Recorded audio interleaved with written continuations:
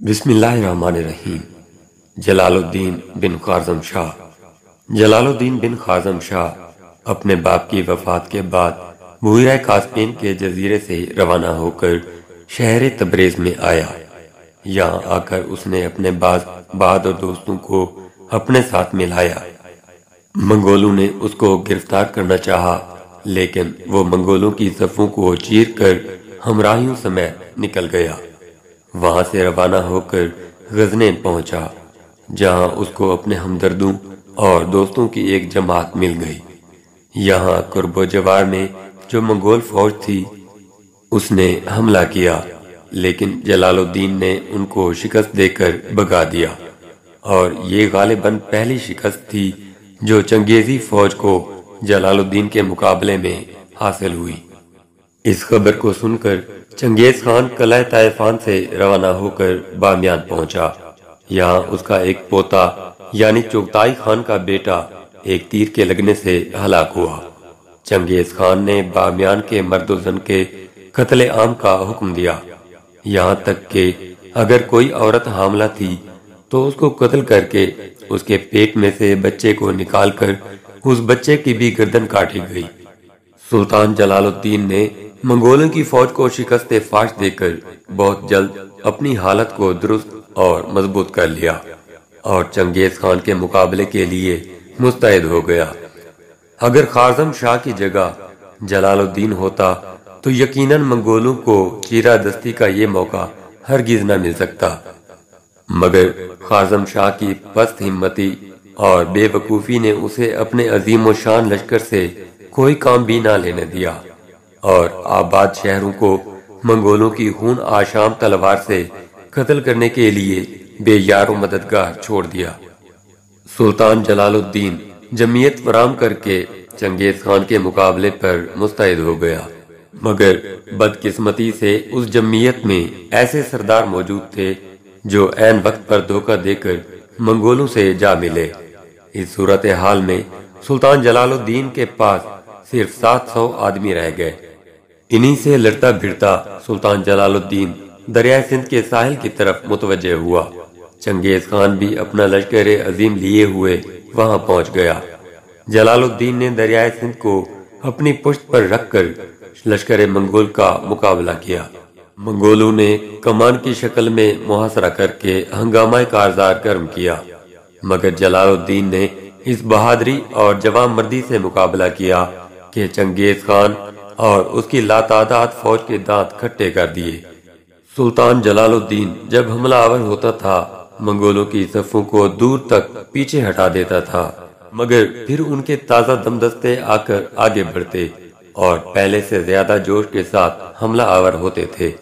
अपनी जमीयत की किल्लत और दुश्मनों की कसरत के सबब इस मार्का आराई में सुल्तान जलालुद्दीन को कोई कामयाबी हासिल न हुई।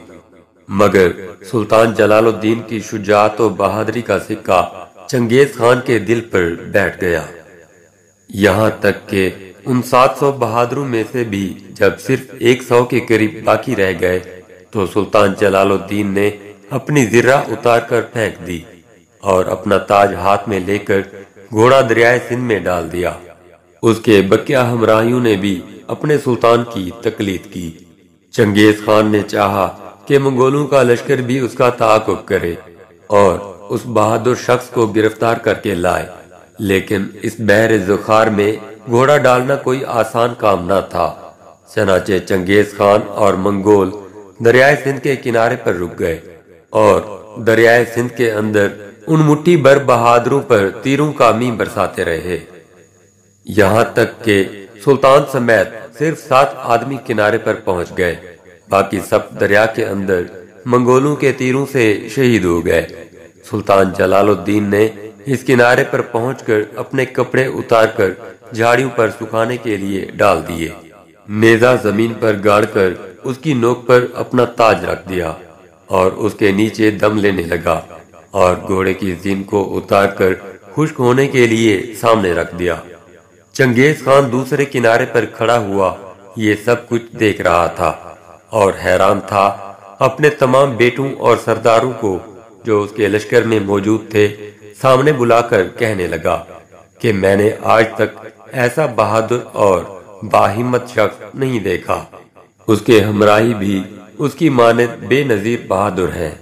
इतने बड़े अजीम शान दरिया को इस तरह अबूर करना भी इन्हीं का काम था। अगर ये शख्स ज़िंदा रहा तो मुझे अंदेशा है कि दुनिया से मंगोलों का नामो निशान खत्म कर देगा। जिस तरह मुमकिन हो, इसके कत्ल करने की तदबीर सोची जाए।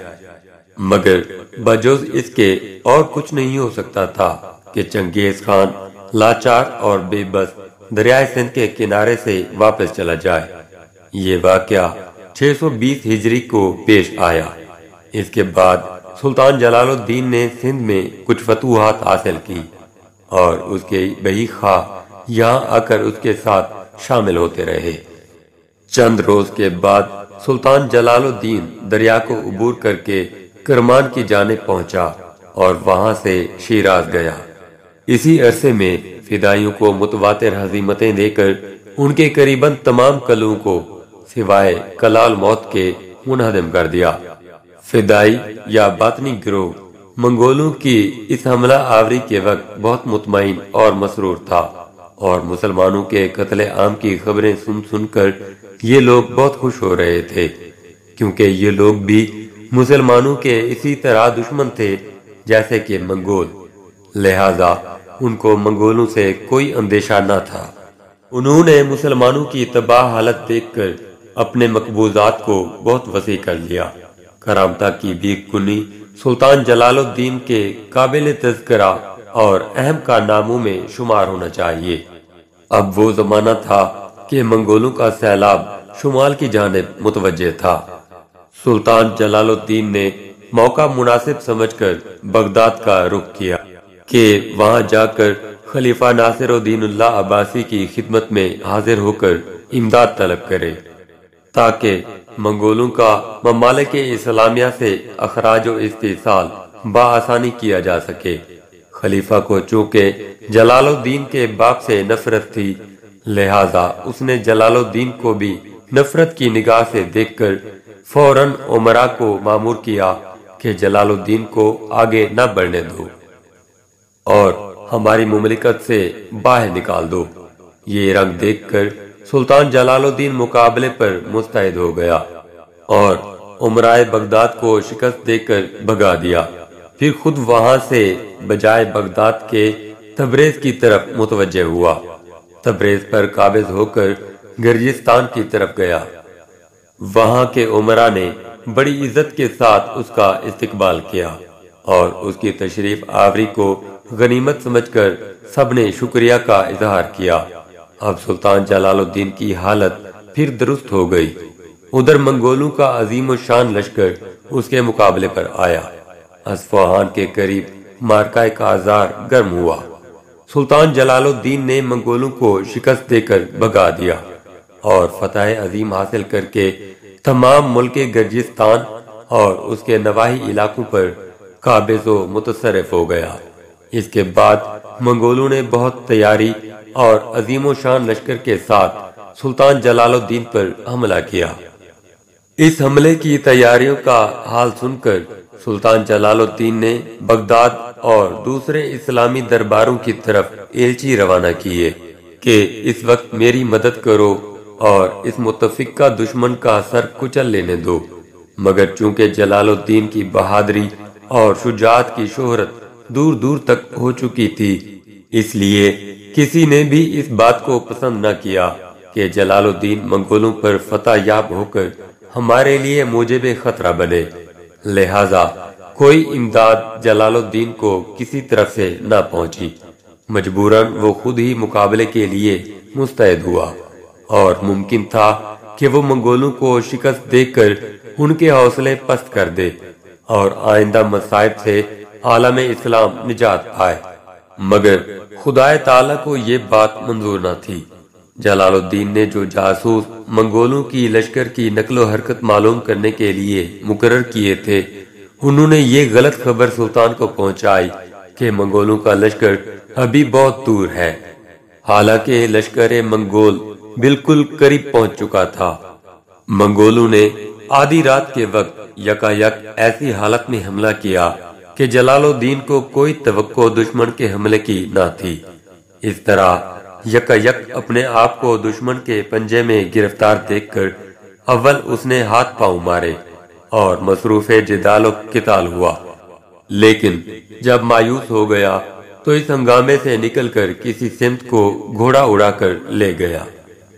इसके बाद किसी को उसका हाल मालूम ना हुआ। दो रिवायतें सुल्तान जलालुद्दीन के अंजाम की नस्बत मशहूर है।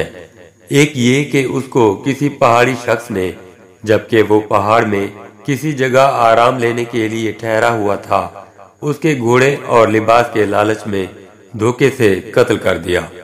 दूसरी रिवायत ये है कि वो बातब्दील लिबास मशाइ उजाम की खिदमत में हाजिर होकर सूफियों और आबिदों की ज़िंदगी बसर करने लगा। और दूर दराज मुल्कों में सफ़र करता रहा और इसी जोहदो इबादत की हालत में अरसा दराज तक ज़िंदा रहा।